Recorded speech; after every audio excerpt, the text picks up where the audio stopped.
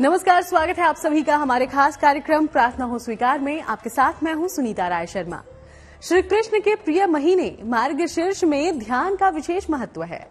आज हम ध्यान के विज्ञान को समझने की कोशिश करेंगे, क्योंकि योग, ध्यान, साधना का सदियों से महत्व है।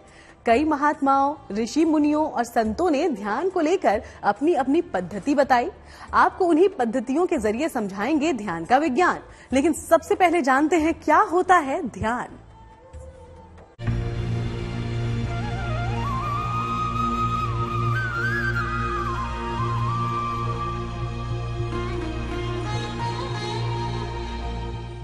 मार्ग शीर्ष में ज़रूरी है ध्यान।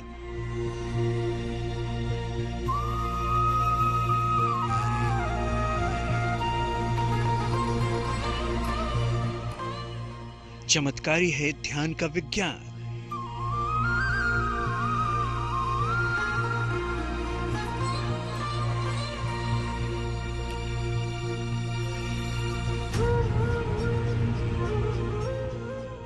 मन को एकाग्र करता है ध्यान।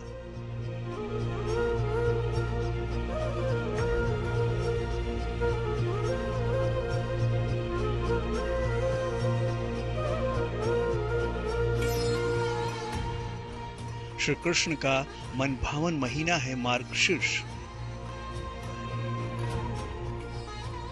महीनों में मैं मार्गशीर्ष हूँ। कान्हा की ये शब्द ये बताने के लिए काफ़ी हैं कि मार्ग शीर्ष का महीना कृष्ण भक्तों श्री हरि के साधकों के लिए कितना महत्वपूर्ण है। गीता में एक शब्द कहा गया है कि भोग ऐश्वर्य प्रसक्ता नाम तया पहित चेत साम व्यवसायत्मिका बुद्धि समाधव न अर्थात जब हमारा मन संसार के भोग और ऐश्वर्य में लग जाता है तो ये भोग और ऐश्वर्य हमारी चेतना का अपहरण कर लेते हैं। अब व्यवसायत्मिका बुद्धि हो जाती है। हमारी बुद्धि हमेशा फ़ायदा और नुकसान देखती है। समाधव न विधीते, ऐसे बुद्धि को कभी चैन नहीं मिलता, अर्थात ऐसी बुद्धि कभी ध्यान कर ही नहीं सकती। कहते हैं, इस महीने में जप, तप और ध्यान से बन जाते हैं हर बिगड़े काम। मार्गशीर्ष महीने में श्री कृष्ण का ध्यान और उपासना का फल अमोघ है। ध्यान में वो शक्ति है जो हमें संसार के सभी कार्य करते हुए परमात्मा तक पहुँचा देता है। वास्तव में ध्यान हमें स्वयं को देखने, स्वयं को जांचने और स्वयं को परखने की प्रक्रिया है। आत्मा को परमात्मा से जोड़ता है ध्यान।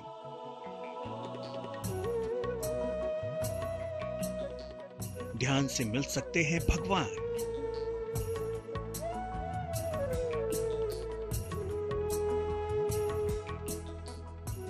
तो आखिर ध्यान करने पर इतना ज़ोर क्यों दिया जाता है? क्यों ध्यान को, ईश्वर को पाने का ज़रिया बताया जाता है? देखिए। ध्यान का मतलब कंसंट्रेशन इसका मतलब he is doing his work in perfect way वो व्यक्ति किसी कार्य को बड़े सही तरीके से करता है तो ध्यान में रहने से आपके परिणाम योगा कर्म कौशलम, ध्यान में रहने से आपके कर्म कुशलता आपकी बढ़ जाती है। इसमें कोई संशय की बात नहीं मन को किसी बिंदु, व्यक्ति या किसी वस्तु पर एकाग्र करना ध्यान है। एकाग्रता में लीन हो जाना ध्यान है। ईश्वर की उपासना का सर्वोच्च तरीका ध्यान ही माना जाता है। पूजा उपासना के बाद जिस पद्धति से ईश्वर की उपलब्धि हो सकती है, वो ध्यान है। केवल आँखें बंद करना ध्यान नहीं है चक्रों पर ऊर्जा को संतुलित करना भी आवश्यक है। ध्यान एक प्रक्रिया है, जो कई चरणों के बाद हो पाता है। इन कई चरणों में पहले चक्रों को ठीक किया जाता है। ध्यान की सिद्धि के बाद व्यक्ति अनंत सत्ता का अनुभव कर पाता है। इसे समाधि कहा जाता है। तमाम गुरुओं और आचार्यों ने ध्यान की अलग अलग विधियाँ बताई हैं, लेकिन सबके उद्देश्य एक ही हैं। ईश्वर की अनुभूति।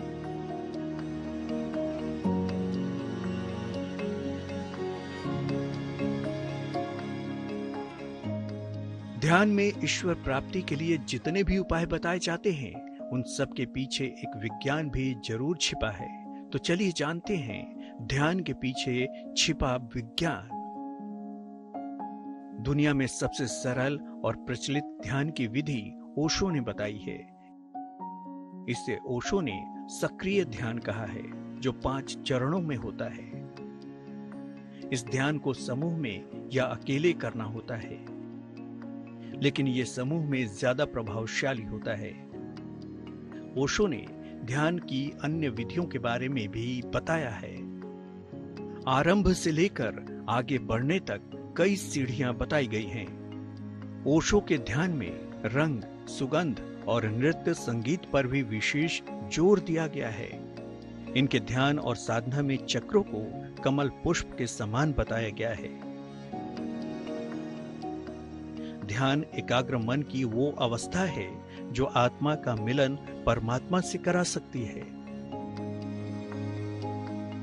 जीवन में ध्यान साधना का सर्वोपरि स्थान है। आध्यात्मिक उपलब्धि तो बिना ध्यान के संभव ही नहीं है। ध्यान का विज्ञान बहुत ही व्यापक है। देखिए सब ध्यान के विज्ञान के बारे में ये कहा गया है यदा ते मोह कलिलम, बुद्धिर व्यतितरिष्यति, तदा गंतास निर्वेदम श्रोतव्य सुत सच्चा। जब हमारी ये बुद्धि ध्यान करते करते हमको ये पता लग जाता है कि संसार क्या है, ब्रह्मांड क्या है, नित्य क्या है, अनित्य क्या है, जीवन क्या है, मृत्यु क्या है आज ये क्यों घट रहा है? पहले भी घटता रहा है, भविष्य में भी घटेगा। ध्यान का मतलब एक दृष्टि होती है। जब आप ध्यानस्थ हो जाते हैं तो कहते हैं गीता में, योगस्था कुरकर्माणी संगम त्यक्वा धनंजय। संसार में परिणामों की चिंता किए बिना जो कर्म करता है, वही योगस्थ और वही ध्यानस्थ कर्म करता है। ध्यान से भगवान को पाने का मार्ग सबसे पहले महात्मा बुद्ध ने बताया। बुद्ध ने अष्टांग योग के माध्यम से ध्यान का मार्ग बताया। आचरण, व्यवहार और जीवन दर्शन के माध्यम से ईश्वर की उपलब्धि के लिए कार्य किया। बुद्ध के ध्यान पद्धति में चक्र, चक्के की तरह होते हैं। बुद्ध की ध्यान पद्धति अब बहुत सारी पद्धतियों में घुल मिल गई है।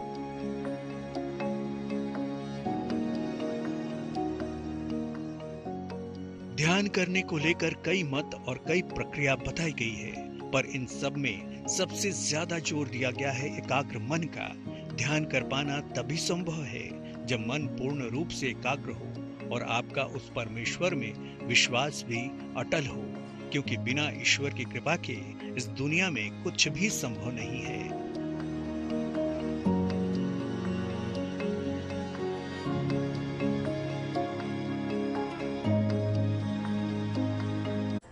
मन की एकाग्रता ही ध्यान है। जब एकाग्र मन किसी उद्देश्य या लक्ष्य के लिए कहीं लीन हो जाता है, ये भी ज़रूरी है ध्यान का लक्ष्य और उद्देश्य अर्थपूर्ण रहे। ध्यान के द्वारा आत्मा का परमात्मा से मिलन भी होता है। ध्यान से जुड़ी कुछ और पद्धतियों के ज़रिए समझते हैं ध्यान के इस जटिल विज्ञान को।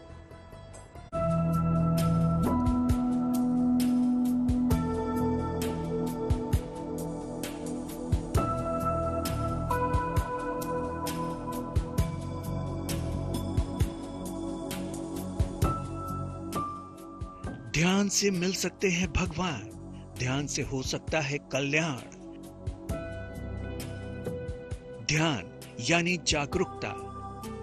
ध्यान यानी अनावश्यक कल्पना और विचारों को मन से हटाकर शुद्ध और निर्मल मौन में चले जाना। ध्यान को साधने से इंसान स्वयं ही सधने लगते हैं। हमारे पातंजलि योग सूत्र में, सांख्य दर्शन में ये कहा गया है कि अगर आप ध्येया सदा मंडल मध्यवर्ती।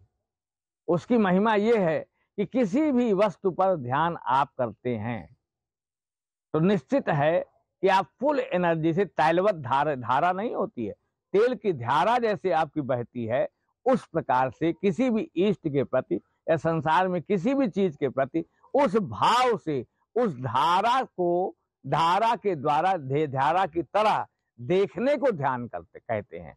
और अगर आप ऐसा ध्यानस्थ होकर के किसी कार्य करते हैं या भगवान को पाने का प्रयास करते हैं, इस तैलवत धार धारा की तरह, तभी ही आपको कोई संसार का पुरुषार्थ या भगवान प्राप्त हो सकता है। ध्यान का विज्ञान आज का नहीं, बल्कि पौराणिक है। दरअसल जो ध्यान है, वही विज्ञान है। ध्यान का संबंध आत्मानुसंधान से है। परमहंस योगनंद ने भी ध्यान के विज्ञान को बखूबी समझाया है। परमहंस योगानंद ने ध्यान के जिस विधि का दुनिया भर में प्रचार प्रसार किया, वो है क्रिया योग मूल रूप से क्रिया योग पद्धति का आविष्कार एक महान गुरु बाबा जी महाराज ने किया था। इस पद्धति में भी कई चरणों के बाद ही ध्यान तक पहुँचने का अवसर मिलता है। क्रिया योग पद्धति तमाम ध्यान पद्धतियों का अनूठा संयोग है। ध्यान आत्मिक विज्ञान का ही दूसरा नाम है। मन को केंद्रित करने की किसी भी प्रकार की क्रिया मनोयोग को ही ध्यान कहते हैं। स्वामी आनंद मूर्ति ने ध्यान के विज्ञान को समझाने की कोशिश की है। आनंद मूर्ति जी ने बहुत सारी ध्यान पद्धतियों का सृजन और विकास किया। शिव कृष्ण और बुद्ध की ध्यान पद्धतियों को आनंद मूर्ति ने दोबारा जीवित किया। इन्होंने सहज योग विशेष योग और मधुर साधना जैसी तमाम ध्यान पद्धतियाँ दी हैं। यहाँ पर भी चक्र कमल के पुष्प की तरह ही है। नियम के साथ इनकी साधना और ध्यान की पद्धतियाँ व्यक्ति को भौतिक और आध्यात्मिक उपलब्धि दे सकती है। ध्यान को लेकर अलग अलग मत का ज़िक्र तो हमने किया। लेकिन ध्यान में लीन होने से पहले ये बेहद ज़रूरी है कि ध्यान के नियम और सावधानियों को भी जान लिया जाए, ताकि ध्यान के प्रभाव से आपका कल्याण हो सके।